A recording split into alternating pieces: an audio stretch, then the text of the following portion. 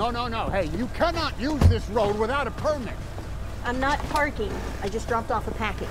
Well, now the sign doesn't say anything about packages, does it? It says permits, and you don't have one. This is not a through street. Have a nice day, sir. Every time you come in here, that means one of the residents can't park in front of their home. You know, the other guys don't do this, the guys with the white trucks. How come it's always you brown guys? And I don't mean that racially. Good afternoon. How can I help you? Yeah, we got a reservation. I'll certainly just need to see your ID. I have you for one night in one of our Creekside cabins. Thank you, Miss Jones. Mark, there's a young woman downstairs asking for you. What kind of car he have? Oh, he, he, we was on foot. Then where'd you do it? He was real nice. Then what? They they drove off. Why'd you wait to come in? All righty. Thank you, ma'am.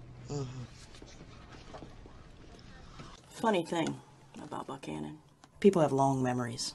It's not always best to go digging things up. The truth. Okay, Albert. The truth is, two kids died. And the man that most people think is responsible just up and vanished. Hey, how's it going? Hello! Come on, Rizzo. Hey, Rizzo. Who's a good girl? Oh, I bet you're loving this weather. Go for walks and that. Oh, yeah, she's loving it. So I think what you'll find with your documentary is that small government doesn't equal bad government. We have a, a ton of talented people working all across the state. The mayor in Indiana, she's a PhD. She teaches at the university. Look, I think Trey speaks for all of us when he says Hey, that. Trey speaks. Shut your mouth, Frisco.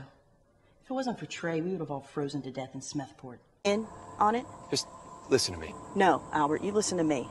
Do you have a body? What? Did you find Verdant's body? No.